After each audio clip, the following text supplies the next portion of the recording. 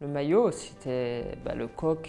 Euh, parce que forcément, nous, on est, à 8000 km de la France, euh, même si nous sommes français. Euh, mais quand on a 8000 km, on, sait qu'il faut encore quatre fois plus travailler pour atteindre ce niveau en fait.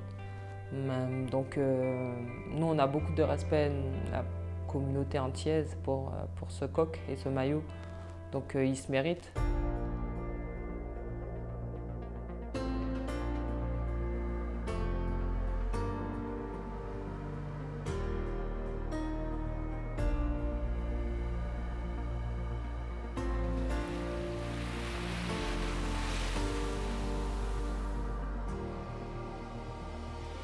J'ai vécu des, très beaux moments, j'ai adoré mon enfance, hein, parce que c'est le, plus, euh, le plus beau moment, comme j'ai dit, c'est là où nos parents nous, donnent tout. Hein. après moi, malheureusement, j'ai perdu mon père assez jeune, j'avais 8 ans.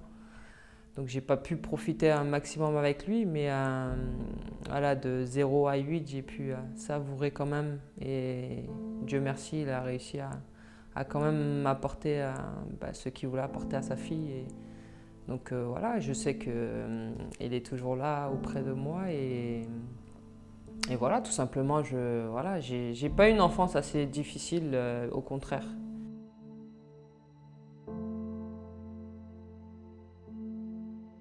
Bon, en fait, mon père, il est, décédé parce qu'il avait un cancer du, du poumon. c'est marrant parce qu'il fumait pas, il buvait pas. Euh, il a eu euh, ce cancer-là qui, l'a attaqué euh, ben, gravement en l'espace de, pratiquement un an, voire deux ans. Il c'est, à partir du moment où le docteur il a mis ouais, ces derniers mois ben, à vivre, on savait que c'était, c'était fini. Donc c'était une période assez difficile parce que forcément à 8 ans on n'a pas non plus ah, je veux dire le recul euh, pour pouvoir euh, ben, comprendre ce qui se passe, pourquoi. Et, après, bof, la chance, je ne peux pas dire que j'ai eue, c'est que avec mon père, j'étais très proche. je ne lui donnais pas un pas. Et c'est vrai qu'on avait beaucoup d'échanges, lui et, lui et moi. Et avant sa mort, on a eu une grande discussion. Et après, ça, ça reste entre lui et moi, mais on a eu une grande discussion et et il me l'a dit qu'il allait partir. Donc euh, voilà, à partir de là, j'ai dit, il m'a sorti des mots forts hein, que j'avais, et pourtant j'avais 8 ans. Hein, il m'a sorti des mots forts et là j'ai dit ouais d'accord, ok. J'ai dit quand même.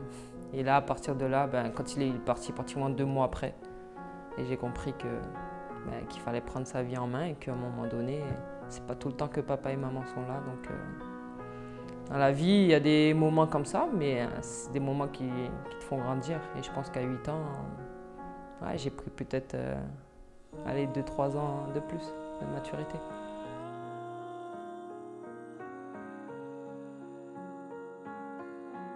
Ah, je me rappelle des détails euh, de tout. Je pars avec ma mère à l'hôpital, on était toutes les deux, on va le voir et enfin, je me rappelle de tout, des détails. Voilà, et sur le coup, euh, c'était pendant la, période scolaire. Euh, et j'étais chez ma grande sœur un peu en vacances à, Fort-de-France, au Lamentin, euh, pratiquement au centre de la Martinique. Et quand il est décédé, ben on, a, on nous a appelés. moi, je savais, le téléphone a sonné une fois, deux fois. Et j'avais ma grande sœur à, côté de moi et je l'ai touchée, je lui dis, je le regardais, je dis papa est mort. Elle me dit mais arrête de dire des conneries. Je lui dis bah tu verras, papa est mort. Bah, c'est vrai que hum, je regardais un match de foot avec ma mère, c'était l'équipe de France à l'époque. Il y avait Pichon, je ne me rappelle plus exactement des noms, mais des noms, mais Pichon, je me rappelle très bien. Et j'étais avec ma mère, j'avais ma petite chaise d'une petite de 8 ans. et elle était là et tout. Et je lui dis, euh, ben, un jour tu me verras à la télé avec ce maillot. Et c'était le maillot de l'équipe de France. Et là, elle me rigole, elle me dit, ah ouais, ben, on verra. Je dis, ben, tu verras. Et c'est fini comme ça en fait.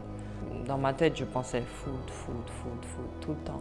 À 14-15 ans, ben, l'année où je, suis partie un peu de, chez ma maman pour rejoindre le pôle en Martinique, qui regroupe les meilleurs sportifs martiniquais, les meilleurs jeunes. Donc je suis parti là et à la fin de l'année, il y a le CTR de la Martinique, donc le conseiller technique régional, il s'appelle Jocelyn Germé. Et il vient me voir et il me dit ben, en fin de saison, je vais essayer de te trouver un essai à Clairefontaine. Je dis ben ouais, ce serait cool. Donc là, il, appelle ma mère. Et avec ma mère, je lui dis euh, j'étais trop contente, j'étais à fond, j'étais affolée. Je dis c'est trop bien. Et du coup, bah, je suis partie euh, fin mai faire l'essai à Clairefontaine. Et quand je suis arrivée, ouais, c'était changement. Ben, je me rappelle, mon tonton il vient me chercher euh, le vendredi. Et il me demande du coup la semaine comment ça s'est passé et tout. Et je lui dis, euh, ben, j'ai été bien. Bien sûr, il y a des exos où j'étais pas, bon, j'étais pas nul, mais euh, c'était pas non plus un bon test, on va dire. Ça va pas être bon, ils vont pas me prendre. Donc après, il m'a dit, bon, on va attendre. On va attendre qu'il donne le, verdict et puis, euh, puis après on verra. J'étais tout le week-end, j'étais en train de regarder sur le site internet pour voir la décision. Et puis là, la décision est tombée, je ne suis pas prise. Donc là, il y a le CTR de la Martinique et je l'appelle. Je lui dis bah, quand même, je te remercie de m'avoir trouvé l'essai, mais malheureusement, je ne suis pas prise. Et il me dit euh, non, non, bouge pas, je te retrouve un autre essai, attends, raccroche pas. Euh, j'appelle un ami et je te rappelle. Donc là, on raccroche et tout. Et donc il décroche son téléphone et il appelle mon conseiller actuel, Fred Labiche. Et il lui dit Ouais, euh, ben, j'ai une fille là, c'est une antillaise, elle est, elle est, grande, elle est bonne. elle, a, voilà, elle a beaucoup de qualités. Euh, est-ce que tu connais pas le coach de l'Olympique lyonnais qui s'appelait Farid Benstiti à l'époque? Pouvoir lui, trouver un essai. C'est assez rapide, elle est à Paris, elle est chez son oncle, elle est déjà prête. Donc euh, voilà, j'ai pris tout de suite le billet de train. Je suis venu à Lyon, j'ai été accueilli aussi par, bah, par mon conseiller et, Johan Artok. C'est un gardien un entier comme moi-même qui est parti au moins deux ans avant. Et quand ça s'est passé, ben, je suis arrivé à Lyon, ils m'ont emmené tout de suite à l'entraînement et au bout de voilà, deux heures, il a fait signe à mon conseiller qui me prenait. Mais mon conseiller ne m'a rien dit, il m'a laissé faire ma semaine.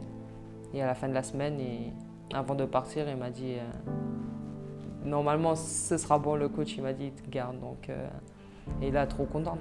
Et, euh, et j'étais déjà déçue par rapport au test à Clairefontaine, par rapport au CTA qui avait tout fait pour, ouais, pour me trouver un essai. Et mon destin, il n'était pas là.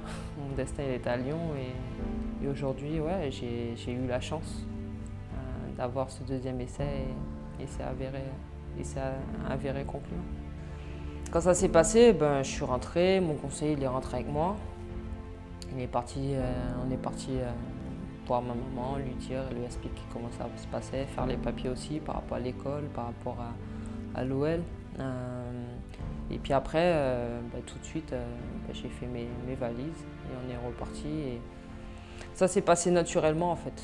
Je ne me suis pas posé de questions. Euh, quand on a quelque chose en, fait, en tête et qu'on est omnubilé par ça, on ne se pose pas la question du, danger entre guillemets qu'il peut y avoir quand on est jeune, quand on ne connaît pas, quand... même la solitude un peu par moment. Mais on ne se pose pas tout ça parce qu'on n'a qu'une seule chose en tête, c'est de réussir. Donc euh, moi j'avais que ça en tête, c'était la réussite. Et jamais je me suis dit, ouais, mais je vais galérer, ou ma mère va me manquer, ou la Martinique va me manquer.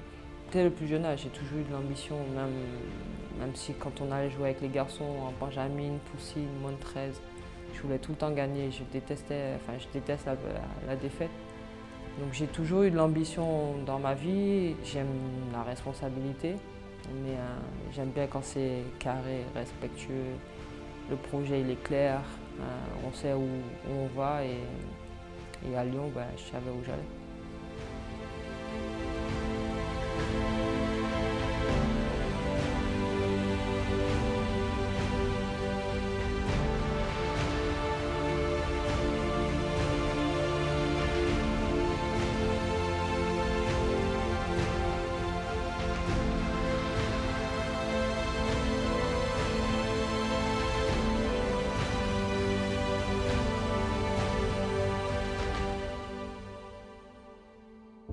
Ben, Je dirais que je suis fière d'elle. I'm very proud. non, je suis fière, je suis fière d'elle euh, parce que voilà, elle a fait du chemin cette petite. C'est pas mal. Hein.